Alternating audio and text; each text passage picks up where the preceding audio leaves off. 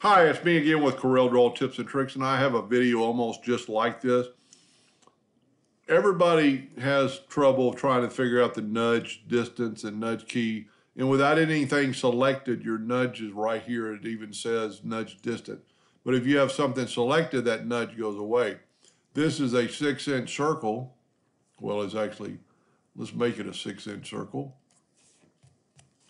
and I'm going to set my nudge factor on seven. So if I want to move the interior circle, I'm going to hit this right arrow key and it's going to move it over. It's going to nudge it.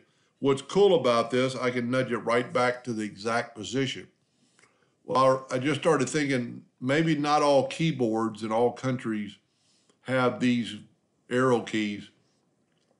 And my keyboard actually says number lock. So if you press the number lock, you can actually use the six key to move that over because it's got a right arrow. So up, down, I don't think it'll do it. Um, like the seven key doesn't work, but the eight key, the two key, the four key, and the six key will be your up and down arrows.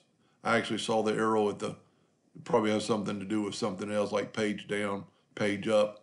I don't know what the seven arrow key does. Maybe somebody will uh, chime in here.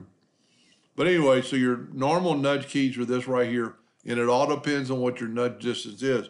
If we set it to five inches, then it's only going to nudge it over five inches or up or down, and so on and so on.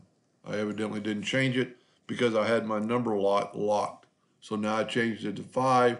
I'll grab the center one and I'll move it over just five inches but I can move it right back.